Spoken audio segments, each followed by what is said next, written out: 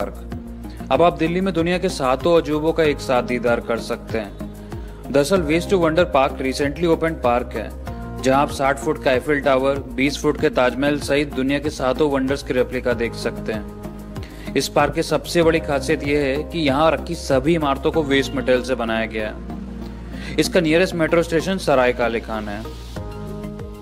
Number नौ national war memorial recently open national war memorial India Gate के पास बनाया गया है। यह स्मारक उन सैनिकों को श्रद्धांजलि देता है जिन्होंने सन उन्नीस सौ बासठ के भारत चीन युद्ध सन 1947, 1965 और 1971 के भारत पाक युद्ध 1999 के कारगिल वॉर और श्रीलंका में भारत के पीस कीपिंग मिशन में अपने प्राणों का बलिदान दिया। इस ऐतिहासिक इमारत के चारों ओर आर्टिफिशियल लाइट लगाई गई हैं जो रात को देखने में बहुत ही सुंदर लगती हैं। इसका nearest metro station central secretariat है। नंबर आठ हुमायूं टॉम हुमायूं टॉम में हुमायूं का शरीर दो अलग अलग जगहों पर दफनाया गया है। हुमायूं के इस मकबरे में बहुत सारे छोटे छोटे स्मारक भी हैं। हुमायूं के साथ साथ यहाँ कुछ अन्य मुगल शासकों की कब्रें भी हैं। इसके प्रवेश द्वार पर स्थित एक छोटा सा संग्रहालय भी देखने लायक है। खान मार्केट और जवाहरलाल नेहरू मेट्रो स्टेशन से ये बिल्कुल पास है। नंबर सात, कुतुब मीनार। दिल्ली की ऐतिहासिक इमारतों में से एक कुतुब मीनार का निर्माण करीब 1000 साल पहले हुआ था। तिहत्तर मीटर ऊँची यह मीनार पीसा के लीनिंग टावर जैसे दिखती है। लाल बालुआ पत्थरों से निर्मित कुतुब मीनार भारत की सबसे ऊँची मीनार है। हालाँकि अब इसके अंदर जाने की अनुमति नहीं है। यहाँ जाने के लिए कुतुब मीनार मेट्रो स्टेशन सबसे पास पड़ेगा। नंबर छह कनॉट प्लेस यूँ तो दिल्ली में कई चीज़ें हैं जो लोगों को अपनी ओर आकर्षित करती हैं। उनमें से एक है दिल्ली का दिल कहा जाने वाला कनॉट प्लेस जिसे हर दिल्ली वाला प्यार से सीपी कहता है। यहाँ आप दोस्तों के साथ हैंग आउट कर सकते हैं, अच्छी और सस्ती शॉपिंग का लुत्फ उठा सकते हैं, लजीज व्यंजनों का स्वाद चख सकते हैं। यहाँ मौजूद दिल्ली की फ़ेमस पालिका बाज़ार से शॉपिंग करना मत भूलिएगा। इसका nearest metro station Rajiv Chowk है। नंबर पाँच, जामा मस्जिद और चांदनी चौक। पुरानी दिल्ली के दिल में स्थित जामा मस्जिद सबसे बड़ा इस्लामी मस्जिद है। इस मस्जिद का निर्माण शाहजहां ने 1650 में शुरू करवाया। बलुआ पत्थर और सफ़ेद संगमरमर से निर्मित यह मस्जिद देशी ही नहीं, विदेशी सैलानियों को भी अपनी तरफ़ आकर्षित करता है। यदि आप खाने के शौकीन हैं तो जामा मस्जिद से लगे हुए चांदनी चौक और चावड़ी बाज़ार आपको पसंद आएँगे।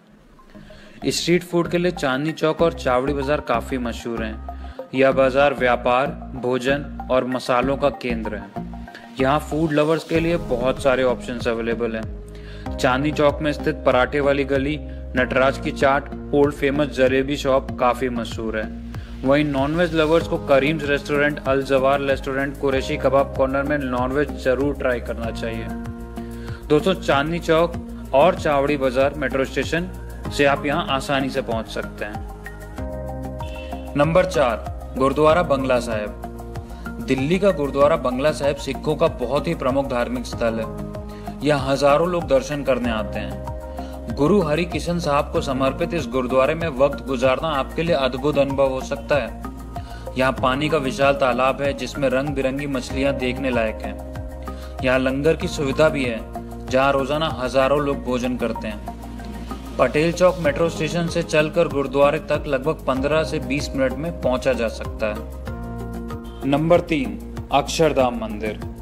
दुनिया के सबसे विशाल हिंदू मंदिर के तौर पर अक्षरधाम मंदिर का नाम Guinness book of world record में भी दर्ज है।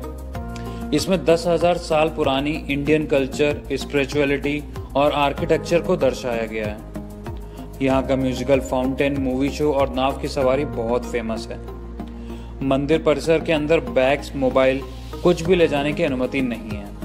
लेकिन आपके पास अपने सभी सामान को स्टोर करने के लिए निःशुल्क सुविधा दी जाती है। यहाँ तक पहुँचने के लिए अक्षरधाम मेट्रो स्टेशन एक अच्छा विकल्प है। दोस्तों, ये मंदिर सोमवार को बंद रहता है। नंबर दो, रेड फोर्ट। अगर आप पहली बार दिल्ली आ रहे हैं या फिर दिल्ली में रहने के बावजूद रेड फोर्ट नहीं गए हैं तो यहाँ ज़रूर जाएँ।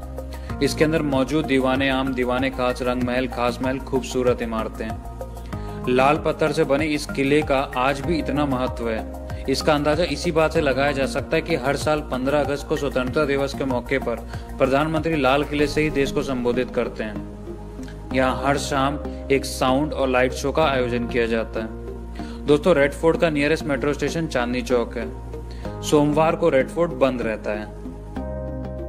नंबर एक इंडिया गेट। इंडिया गेट का निर्माण फ़र्स्ट वर्ल्ड वॉर और अफगान वॉर में मारे गए नब्बे हज़ार भारतीय सैनिकों की याद में करवाया गया था। इस इमारत पर उन सभी शहीद सैनिकों के नाम कुदे हुए हैं। बयालीस मीटर लंबा यह गेट 1931 में बनवाया गया।